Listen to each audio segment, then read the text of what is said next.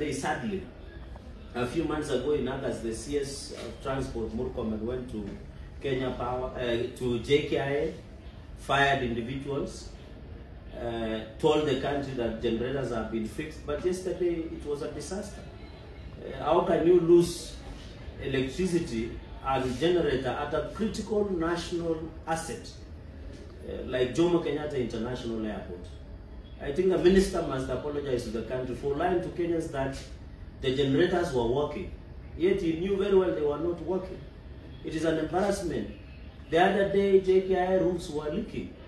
He formed a committee to look into leaking roofs. Now, I hope he is not intending to form another committee to look into why generators are not working. Because the generator to work is very simple. Every Kenyan knows how generators work. Unakanyaka, unafuruta mara tatu na, na generator inawaka and you have electricity. So do we need an explanation to that? I think that this is the incompetence of the CS of Roads and Transport that uh, is not only incompetent but he lied to Kenyans that generators are working and yet they are not working. And therefore, these are critical national strategic assets of national security importance that you should not even lose at 10 seconds, even power outage in JKI. You can imagine the place that was supposed to land. Therefore, it must be, it must, it must apologize to this country and Kenyans.